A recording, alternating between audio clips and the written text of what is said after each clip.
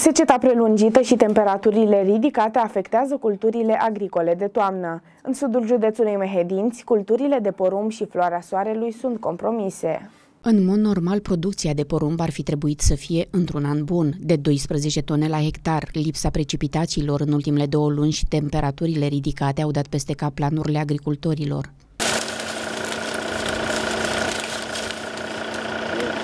Porumb de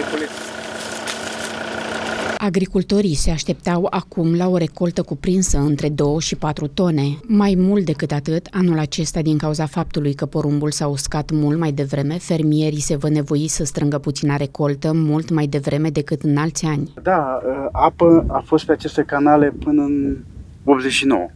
S-a mai încercat în, 2000, în 2004, s-au cheltuit foarte mulți bani pentru reabilitare, dar de fapt nu s-a reabilitat nimic, s-au tocat banii și de peste 30 de ani nu s-a mai irigat nimic aici în, pe acest sistem de irigații care stația de pompare de la Pisuri deservește uh, aproape 30, ar fi trebuit să deservească peste 30.000 de hectare.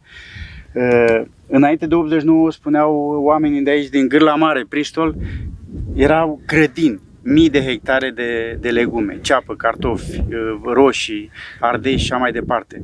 Noi ne chinuim acum cu cultura mare, cu grâu, rapiță, porumb, floarea soarelui. Dacă am avut ceva producții la, la grâu și la rapiță, la porumb și floarea soarelui, este, anul acesta este o, o mare pierdere. Fermierii spun că nu își vor scoate nici măcar investiția. Despre profit nici nu se poate vorbi. La această pierdere se adaugă, bineînțeles, munca. Dar nu vedeți dumneavoastră cât de mare este, doar dumneavoastră spuneți la televizor. Foarte mare, greu cu noi aici. Foarte rău ducem. De ce? Pensiile mici, foarte mici. Eu am un milioane.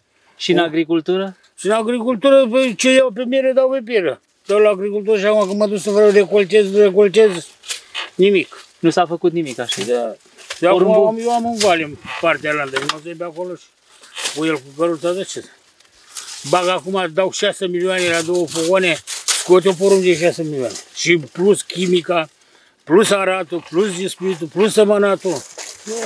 Teroare. Deci tot ce ați investit se duce pe atât? Tot, pe mai mult am investit decât câștigat. Dacă ăștia guvernanță așa trândăvesc acolo așa și nu dă și nouă măresc pensiile. Păi medicamente trebuie să-mi iau. Sau ar trebui irigații pe aici. A, păi ai bani de irigat, dar îi mănâncă. Nimic, nimic, ce să nu. Oile săracele, dacă a luat foc acum, nici pe miriz nu au Lipsa unui sistem de irigație este cauza principală care duce la astfel de realități. Până în anii 90, în zona de sud a Mehedințului, sistemul de irigație era perfect funcțional. Acum au mai rămas doar canalele părăsite. Faptul că producția din România va scădea semnificativ față de anii precedenți din cauza secetei se va reflecta și în exporturile pe care le va efectua țara noastră.